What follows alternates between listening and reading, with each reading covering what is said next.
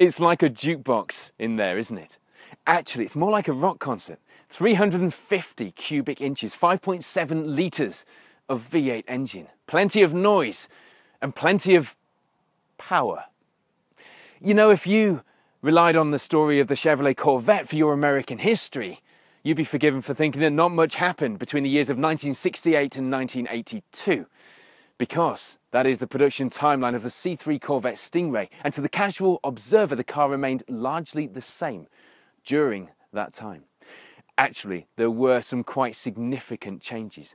Changes which make early models super valuable these days. Changes which actually toned down the driving experience towards 1980 and towards the end of production in 1982. And changes which, thanks to American emissions laws at the time, meant much less power, much less power for the C3 Chevrolet Corvette Stingray.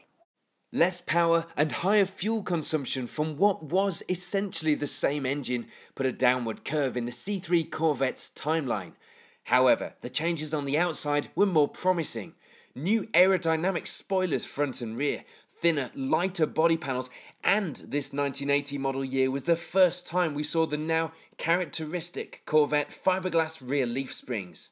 They say you should never meet your pinups, and for me, the C3 Corvette Stingray was a pinup as a kid. When I played car capers, I always wanted to roll a double six and win this car. I built a plastic monogram model of this Corvette Stingray that I still have today. And now I'm sat here staring at figures that are possibly less than impressive in the muscle car world. I'm looking at a, a speedo with a, a heady 85 miles per hour top speed. And I'm wondering if I perhaps picked the wrong muscle car to be my pinup. But then this.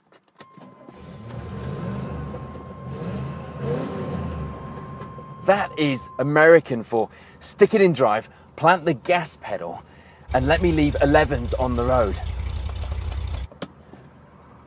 You can only leave one instead of 11s though because the fuel tank isn't big enough for two. That's what it's saying. Gratefully, this is a classic car review, which means I can concentrate on the experience and not whether this car is practical for commuting or for toll booths. And with any American car, it's all about the experience, the feeling of driving an American muscle car on roads that weren't designed for it, and in a decade that has tried its best to shake off such dinosaurs of automotive history and change its priorities.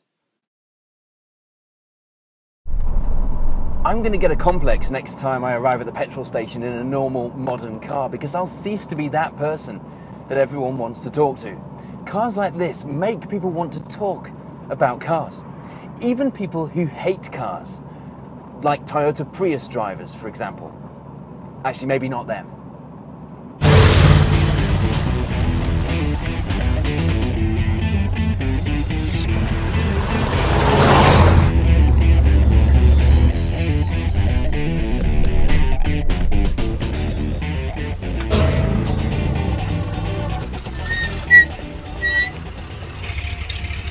The Chevrolet Corvette is as iconic to American motoring as the E-Type Jaguar is to British motoring. And as far as automotive comparisons go, that's a fairly short one. The steering isn't that precise. The V8 engine makes more noise than go. The ride is harsh in this country. There's no boot lid, no hatchback. It's very impractical. This particular model comes from a time when General Motors was throwing every bit of available technology and marketing at the Corvette desperately trying to hang on to the coattails of the golden age of American muscle. 1972, this wasn't. But you know what? This car was built to eat up the miles on Route 66. It comes from a, a, time and a place that history has down as one of the most cool, most cult times and places to have existed in. Sitting in this red jukebox cabin, I want to be watching movies through the windscreen. I want a clip on burger tray on the outside of my door. And that is what driving around in a C3 Corvette Stingray is all about. That is classic motoring. It's back to the 80s.